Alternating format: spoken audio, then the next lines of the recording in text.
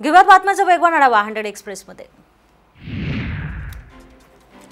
मुंबई लोकलचा निर्णय पुन्हा लांबणीवर पडण्याची चिन्ह आहे तर पंधरा ऑगस्टपर्यंत महाराष्ट्रातील रुग्णसंख्येचा आढावा घ्या आणि मग निर्णय घ्या असा सल्ला कोरोना टास्क फोर्सनं मुख्यमंत्र्यांना दिलाय. तोपर्यंत लोकलचा निर्णय राखून ठेवा असं सुद्धा उद्धव ठाकरेंना सुचवण्यात आलंय. दोन डोस घेतलेल्या प्रवाशांना लोकल प्रवास करून देण्यात हरकत नसली तरीही अन्य काही राज्यांमध्ये कोरोना स्थिती बरी नाही त्यामुळे निर्णय राखून ठेवावा असा सल्ला या टास्क फोर्सनं दिलाय. राज्याचे विरोधी पक्षनेते देवेंद्र फडणवीस पश्चिम महाराष्ट्राच्या पूरग्रस्त भागाच्या दौऱ्यावर आहेत. त्यांनी पूरग्रस्तांच्या व्यथा जाणून घेतल्यात.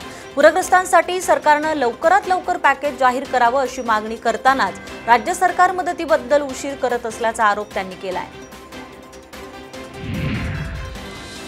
पूरग्रस्तांच्या मदतीसाठी अभिनेती दीपाली सय्यद पुढे आली आहे. दीपाली भोसले सय्यद चॅरिटेबल ट्रस्टच्या वतीनं पूरग्रस्तांना मदत केली जाणार आहे.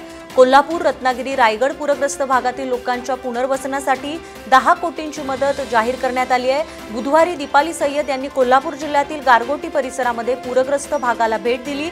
झालेल्या नुकसानीची त्यांनी पाहणी केली. शिवशाहीर बाबासाहेब पुरंदरे यांनी आज शंभराव्या वर्षात पदार्पण केलं आहे त्यांच्या वाढदिवसानिमित्त सर्व स्तरातून त्यांना शुभेच्छा मिळत आहेत राज ठाकरे सध्या पुणे दौऱ्यावर आहेत. तेही बाबासाहेब पुरंदरे यांना शुभेच्छा देण्यासाठी त्यांच्या घरी गेले होते. राज ठाकरेंनी शाल आणि पुष्पगुच्छ देऊन त्यांना शुभेच्छा दिल्या सध्याच्या जगात कसं वागायला हवं हे शिवशाहीर बाबासाहेब पुरंदरेंनी सांगितलेल्या शिवचरित्रातून शिकायला मिळतं असं राज ठाकरेंनी म्हटलंय. इतिहासातील अनेक गोष्टी बाबासाहेब पुरंदरेंमुळे कळाल्याचं राज ठाकरेंनी सांगितलंय. अनेक आडनावं कशी आली याबद्दल सांगताना फडणवीस नाव कसं पडलं असावं याचा इतिहास राज ठाकरेंनी सांगितलाय. आपल्या भूमिका स्पष्ट आहेत आपल्या भूमिका राज्य आणि देशाच्या हिताच्या आहेत असा टोला मनसे अध्यक्ष राज ठाकरे यांनी भाजपला लगावला आहे जे पटतं ते आपण मांडत असतो असे राज ठाकरे यांनी म्हटलंय. मनसेसोबतच्या युतीत त्यांची परप्रांतीयांबद्दलची भूमिका अडचणीची ठरत असल्याचं वक्तव्य भाजप नेत्यांनी केलं होतं. अवेळी बोलणं जास्त बोलणं हे कधीच पवार कुटुंबीय करत नाहीत. या गोष्टी रोहित पवारांनी आपल्या आजोबांकडून शिकल्या पाहिजेत असा सल्ला नितेश राणे यांनी दिला आहे यावेळी त्यांनी अजित पवारांवरही टीका करताना नारायण राणेंनी कुठली भाषा वापरावी हे अजितदादांनी सांगावं म्हणजे राज कुंद्रांनी कुठला चित्रपट बघावा असं सांगण्यासारखं आहे असं नितेश म्हणाले निराधार बेछूट बेजबाबदार आरोप करून बदनामी केल्याप्रकरणी शिवसेनेचे आमदार प्रताप सरनाईक यांनी किरीट सोमयांविरोधात अब्रू नुकसानीचा दावा ठोकलाय. किरीट सोमयांविरोधात ठाणे कोर्टात शंभर कोटींचा विशेष दिवाणी दावा आमदार प्रताप सरनाईकांनी दाखल केलाय. रितसर प्रक्रिया करून हा दावा नुकताच दाखल करण्यात आलाय. सोमय्या यांनी आता त्यांनी केलेल्या निराधार आरोपांबद्दल कोर्टात उत्तर द्यावं लागणार आहे.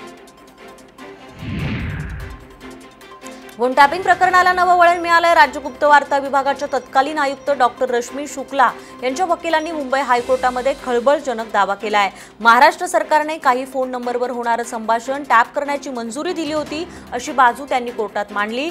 डीजीपींच्या आदेशामुळे रश्मी शुक्ला यांनी पाळत ठेवली होती. त्यासाठी राज्य सरकारच्या अतिरिक्त मुख्य सचिव सीताराम कुंटे यांच्याकडे परवानगी मागितली होती. सतरा जुलै दोन हजार वीस ते एकोणतीस जुलै दोन हजार वीस पर्यंत कुंटे यांनी त्यांना देखरेखीची परवानगी दिली होती असं सुद्धा जेठमलानी यांनी कोर्टासमोर सांगितलंय.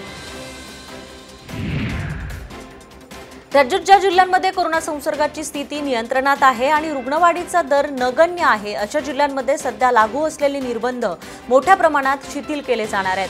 या अनुषंगानं अभ्यास अहवाल तातडीनं सा- सादर करण्याच्या सूचना मुख्यमंत्री उद्धव ठाकरे यांनी आरोग्य विभागाला दिल्या असून पुढील दोन ते तीन दिवसांमध्ये निर्बंध शिथिल करण्याबद्दल मोठा निर्णय मुख्यमंत्री घेऊ शकतात.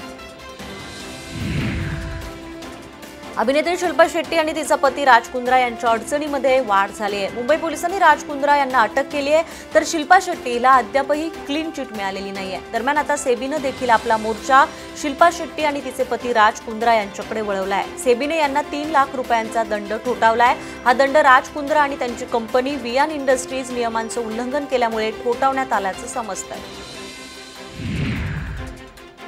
खासगी शाळांच्या पंधरा टक्के शुल्क कपाती संदर्भात राज्य सरकारनं घेतलेल्या निर्णयाला संस्था चालकांनी विरोध केला आहे मंत्रिमंडळात घेण्यात आलेला निर्णय आम्हाला मान्य नसल्याचं या संस्था चालकांनी म्हटलं आहे व्यावसायिक आणि इतर श्रीमंत पालकांना या निर्णयाचा लाभ होणार असल्याचं या संस्था चालकांचं म्हणणं आहे.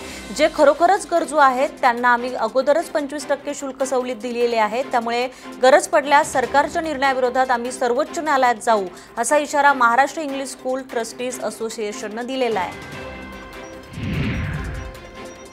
अकरावी प्रवेश परीक्षेमध्ये राज्य मंडळाबरोबरच अन्य शिक्षण मंडळांच्या अभ्यासक्रमाशी सुसंगत प्रश्नांचाही समावेश करण्याबद्दल विचार करा असे निर्देश मुंबई उच्च न्यायालयानं राज्य सरकारला दिले आहेत. याबद्दल भूमिका स्पष्ट करण्यासाठी न्यायालयानं सरकारला चार ऑगस्टपर्यंत मुदत दिली आहे. न्यायालयाच्या या निर्णयामुळे अकरावी प्रवेशाचा गुत्ता आता आणखी वाढणार आहे. महाराष्ट्र लोकसेवा आयोगामार्फत होणाऱ्या भरती प्रक्रियेला गती मिळाली आहे. रिक्त पदं भरण्यासाठीचे प्रस्ताव पंधरा ऑगस्टपर्यंत एमपीएससीकडे पाठवण्याचे निर्देश उपमुख्यमंत्री अजित पवार यांनी विविध विभागांना दिले आहेत. कोरोना संकटामुळे केवळ सार्वजनिक आरोग्य आणि वैद्यकीय शिक्षण विभागातील पदांच्या भरतीला मंजुरी देण्यात आली आहे. ही पदं भरताना न्यायालयाच्या सर्व निकालांचा विचार करून राज्यातील कोणत्याही घटकांवर अन्याय होणार नाही याची काळजी घेण्याची सूचना यावेळी देण्यात आली आहे. पुन्हा एकदा साम टीव्हीच्या बातमीचा इम्पॅक्ट दिसून आलाय. नाशकातल्या ब्रह्मगिरी परिसरातील इको सेन्सिटिव्ह झोनची सीमा निश्चित होणार आहे. इको सेन्सिटिव्ह झोन ठरवण्याची प्रक्रिया सुरू करण्याचे आदेश जिल्हाधिकाऱ्यांनी दिले आहेत प्रत्यक्ष पाहणी आणि तपासणी करण्यासोबतच जनसुनावणी घेऊन इको सेन्सिटिव्ह झोनचं चिन्हांकन आणि नकाशा तयार करण्याचे निर्देश देण्यात आलेत. सांगली जिल्ह्यामध्ये पाण्याच्या महापुरानंतर आता चिखलाचा महापूर आलेला आहे. मिरज तालुक्यातील मौजे डिग्रज गावामध्ये महापुरानंतर चिखलाचं साम्राज्य पसरलं आहे मिरज तालुक्यातील मौजे डिग्रज गावाला दरवर्षी पुराचा फटका बसतो. यंदा सुद्धा गावाला पुराचा फटका बसलाय. अनेक घरांची पडझड सुद्धा झालेली आहे. गोंदिया जिल्ह्यामध्ये पावसानं हजेरी लावले पावसाच्या पुनरागमनामुळे खरीपांच्या पिकांना जीवनदान मिळणार असल्यानं बळीराजा सुकावलाय. आतापर्यंत जिल्ह्यामध्ये केवळ एकोणचाळीस टक्के पाऊस झालाय. जिल्ह्यामध्ये झालेल्या पावसामुळे जलाशयातील पाण्यामध्ये काही प्रमाणात वाढ होणार आहे.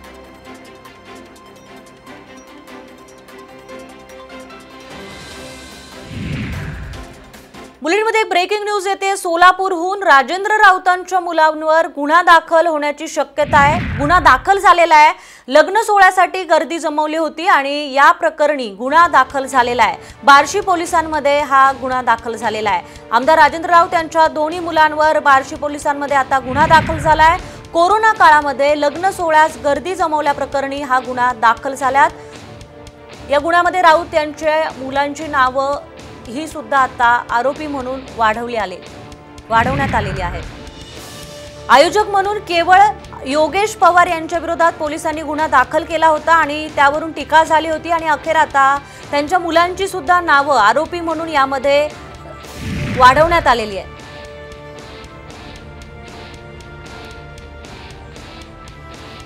कोरोना काळामध्ये एकीकडे लोकांना नियमांचं बंधन आहे आणि दुसरीकडे मात्र अशा प्रकारे विवाह सोहळा साजरा करण्यात आला होता.